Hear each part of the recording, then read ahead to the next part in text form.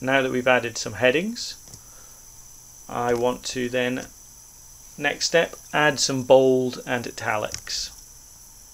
So again, we're going to click into Edit, and you can select anything you like to practice with bold. I'm going to select my username here. I'm going to make that bold.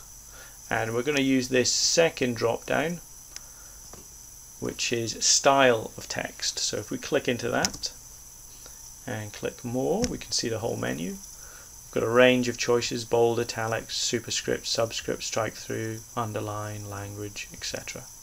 I'm going to select bold. Just click and we can see that's turned to bold.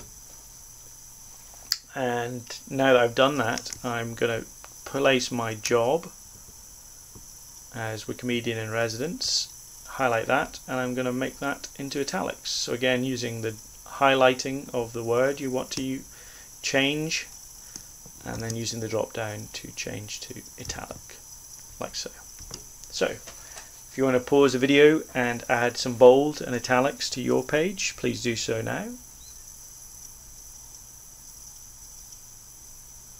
And if you've done that we can click save page again added bold and italics always describing the change we've just made. So bold italics and headings all done